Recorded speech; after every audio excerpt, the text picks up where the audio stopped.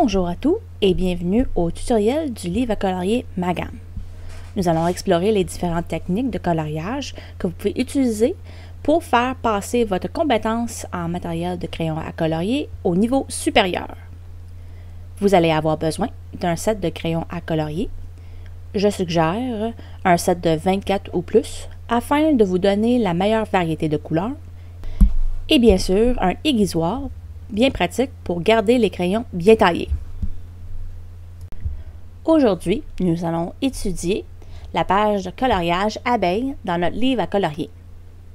La première chose à faire est déterminer les couleurs que nous allons utiliser.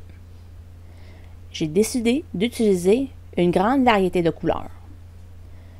Je vais utiliser trois nuances de jaune, un ton clair, un ton moyen et un ton foncé, deux nuances de marron, un ton foncé et un ton clair, deux tons de bleu, un clair, un foncé, deux tons de violet, un clair, un foncé, deux tons de rose, un clair, un foncé, et trois tons de vert, un clair, moyen et foncé, deux tons de gris aussi.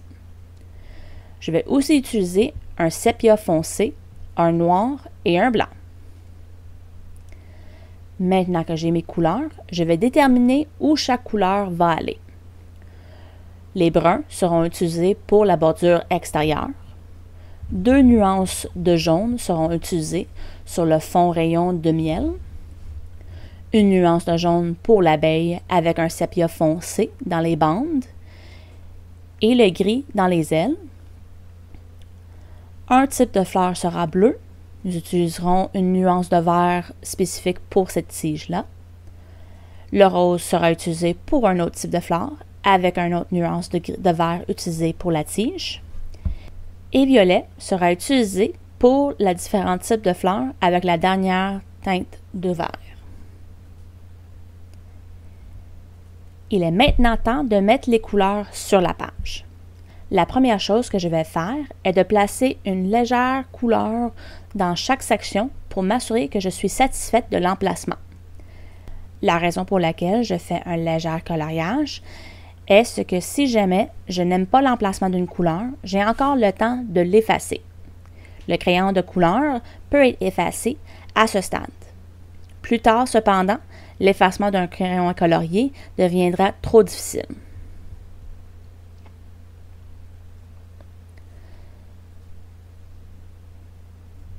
En commençant le léger coloriage à l'extérieur en travaillant vers l'intérieur. Je sais déjà que je veux que le rayon de miel soit jaune. Je commence donc avec les couleurs dont je suis déjà certaine. Je sais aussi que les abeilles seront également jaunes. Je peux donc les colorier dès maintenant. Je dois maintenant déterminer les couleurs des fleurs, un par un. La touche finale est d'ajouter le gris clair sur les ailes de les abeilles.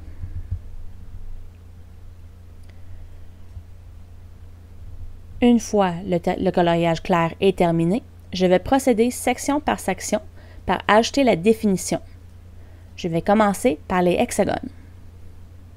Mais avant tout, je vais déterminer où vient ma lumière. Souvent, pour me rappeler d'où vient ma lumière, je place une marque de crayon que je peux effacer à la fin.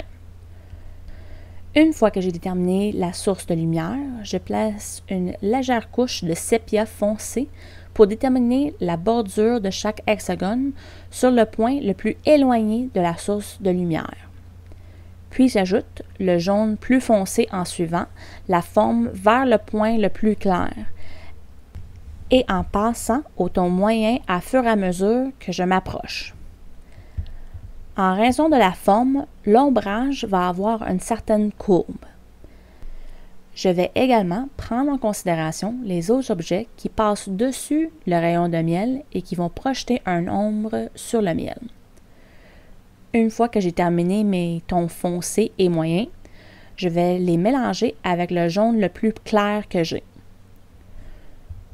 Pour ces rayons de miel, le point le plus clair, sera proche du centre, mais jamais au centre direct. Lorsque j'ai ajouté mon ton moyen, je passe très légèrement au centre sans jamais appuyer trop fort. et en appuyant plus fort sur les tons moyens en mesure que je me rapproche au ton foncé. De cette façon, lorsque je mélangerai mon ton jaune clair, j'aurai un joli dégradé.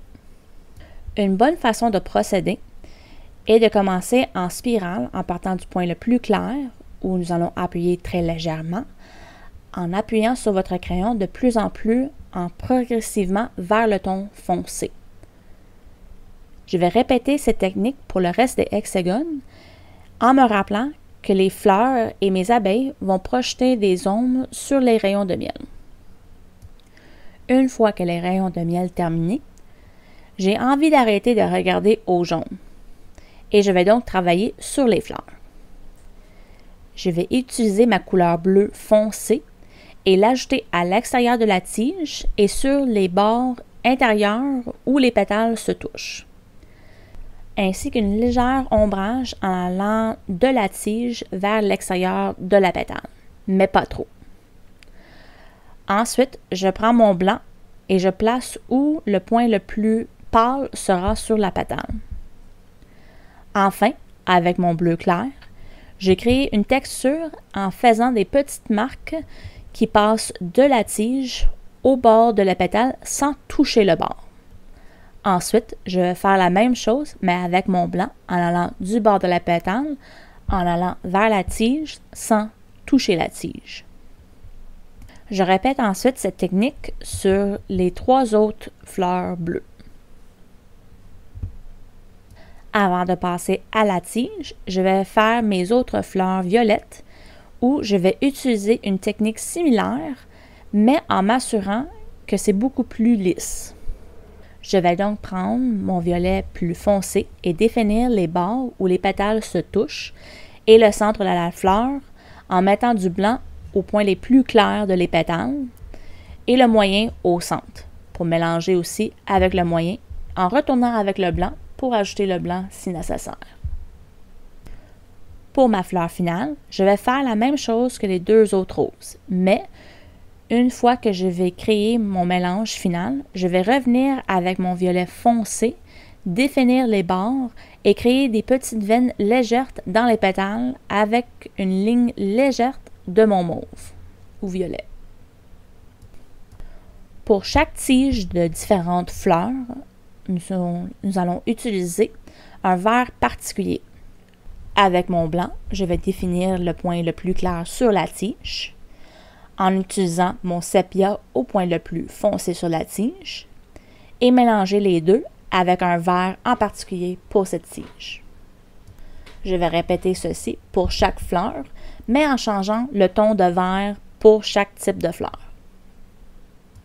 Les abeilles sont faites avec une combinaison de noir sépia, jaune foncé et jaune moyen, en commençant par le bord de la bande, en faisant des petites touches en passant vers le sépia, en passant sur le bord avec le blanc et en refaisant la même chose mais avec les tons jaunes. Pour les ailes, nous allons définir le point le plus clair et passer par-dessus les veines avec mon ton gris. Mais avant de mélanger avec un gris pâle, je vais mettre un peu de touche de jaune ou de rose mes ailes passent par-dessus les objets. Après, je mélange toutes les couleurs avec mon gris pâle. Le fond jaune, je le garde assez simple pour pas distraire du reste du dessin. Alors je le couvre avec une couleur solide.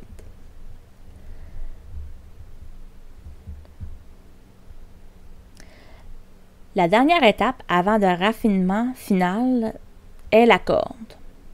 Encore une fois, en gardant à l'esprit d'où vient ma source de lumière, je vais placer une ligne blanche ou un ton blanc à l'extérieur au point vers le point de la lumière.